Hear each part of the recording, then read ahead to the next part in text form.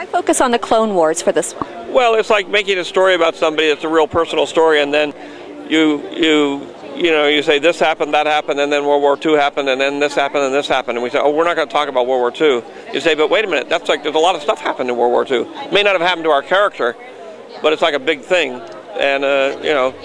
So does it free you up to open up to a lot of new characters that were actually in your mind to begin with?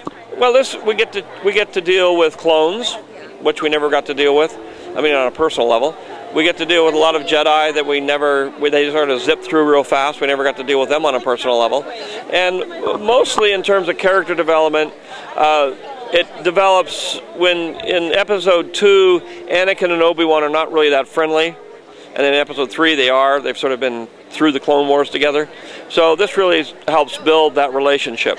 Why the two new female characters, the one villain and the one really good new youngling? Why why focus on them? Well, I've got a few female younglings, and I've raised them, so I know a lot about them. This is really your first premiere? Yeah. Okay, great. What made you want to do it for, for this? Well, it's because this is a smaller movie than most of the movies I've done. Everybody said that needed the extra support. So, Okay. So are you excited to be here for something Yeah, like this? yeah. Is it your style? yeah, I mean, I'm not one for premieres, but it's uh, it's fun to be here.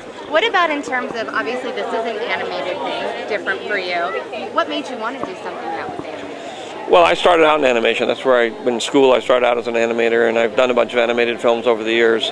Uh, you know, with people like Steve Spielberg, we produced um, Land Before Time together and a lot of things like that. So, you know, and um, my heart has always been in animation. I help, uh, uh, you know, develop uh, CG animation, and so I wanted to do something. Uh, What can you tell us about your live action series that everyone's getting really excited for? well, we're writing it. How many are written?